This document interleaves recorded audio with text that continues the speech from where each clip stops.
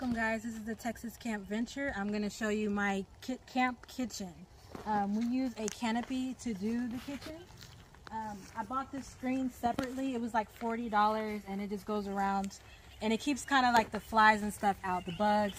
So we're able to be in here without being bothered. Um, I bought this. This is a storage uh, set. It comes with three rows to put stuff in. I kind of put like bread and stuff like that in there um, chips, you know, snacks that don't fit inside my tote. And then I have this kitchen uh, set. It has its own storage too, which we always bring a lot of food because we always camp uh, three or four days. Um, two of these can fit on this camp kitchen. Um, this is a stove top that I choose to use right now. Um, it's probably the cheapest one that I bought from Walmart. And I just bought two of them and I put them next to each other. And I'm able to do my cooking with two different pots. And then it comes with like this uh, cleaning section. So I use this to wash the dishes.